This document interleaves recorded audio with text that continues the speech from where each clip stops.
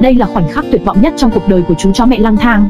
Vừa sinh con không lâu đã bị thần chết nhắm vào, chỉ thấy cơ thể nó trở nên cứng đơ vô cùng. Những chú chó con tham lam vẫn tiếp tục bú những giọt sữa, cho đến phút cuối cùng của cuộc đời vẫn không muốn buông tha cho mẹ mình. Tại sao chú chó mẹ lại trở thành như vậy? Liệu đó có phải là do con người hay một tác nhân bệnh tật? Ngày hôm đó, chàng trai như mọi ngày đi làm việc trên cánh đồng. Bất ngờ từ gần đó chuyển đến tiếng kêu của chó con đứt quãng. Anh chàng nhạy bén nhận ra điều lạ và bắt đầu tìm kiếm khắp nơi. Anh ta băng qua những lùm cây xanh để đến bên vườn trồng chuối. Tiếp đó, tại một căn nhà dân bỏ hoang nhiều năm, phát hiện một cảnh tượng rất bi thương. Một vài chú chó con vừa mới sinh ra không lâu, đang không ngừng bú sữa, nhưng con chó mẹ nằm trên đất như đã mất dấu hiệu sự sống. Chó mẹ nằm im không động đậy, không thở. Người nó nhìn gầy gò như một cái xác khô từ rất lâu vậy. Ngay cả xương sườn trên cơ thể cũng rõ ràng. Một cảnh tượng đập vào mắt. Điều này thực sự khiến chàng trai vô cùng sợ hãi. Một lúc sau anh ta bắt đầu vuốt nhẹ chó mẹ, nhưng cơ thể của chó mẹ đã cứng ngắc, dường như đã rời bỏ chúng từ lâu. Tuy nhiên, mấy em chó cún không biết mẹ đã qua đời, chúng vẫn cố gắng hút sữa của mẹ mình. Chàng trai dù cố gắng hết sức nhưng không thể tách chúng ra. Thì ra chó mẹ có thể bỏ rơi các con và đi mất, nhưng nó đã dùng những thứ còn lại của mình. Cho đến phút cuối cuộc đời, chó mẹ vẫn không muốn từ bỏ con cái. Có lẽ đây chính là vĩ đại của tình mẹ. Đây cũng là tình yêu sâu thẳm nhất trong lòng tất cả các bà mẹ trên thế gian.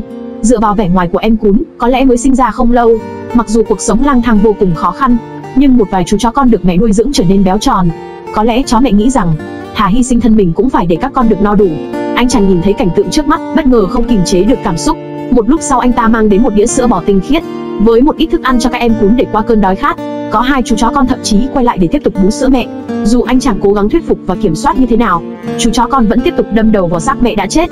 Những bé cún con này quá khiến người ta đau lòng vì chúng không hiểu biết, ngay cả khi mẹ nó đã chết cũng không muốn buông tha cho mẹ của mình. Không còn cách nào khác, anh chàng phải đưa chó mẹ đi. Anh ta liên tục bế chó con ra chỗ đĩa sữa bò để cho chúng uống tiếp. Cứ bế em này vào thì em khác lại chạy đi lung tung. Dường như lòng tốt của anh chàng lại không được ai đáp lại. Chúng thà đói còn hơn uống sữa bò của chàng trai. Sau đó, anh chàng đào một cái hố một gần bãi rác, anh ta chôn chó mẹ ở đó.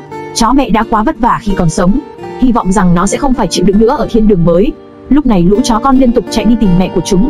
Chàng trai biết rằng ước nguyện của chó mẹ là chăm sóc đàn chó con. Dù sao, anh ta cũng phải hoàn thành điều đó cho chó mẹ. Vì vậy, anh chàng quyết định đưa chúng về nhà để chăm sóc. Mặc dù những chú nhỏ đã mất mẹ, nhưng lại đồng thời có được một người dọn phân cho chúng. Chỉ hy vọng những chú chó con này nhanh lớn, thông minh và ngoan ngoãn tình cảm như mẹ chúng. Được rồi, video của mình hôm nay đến đây là hết.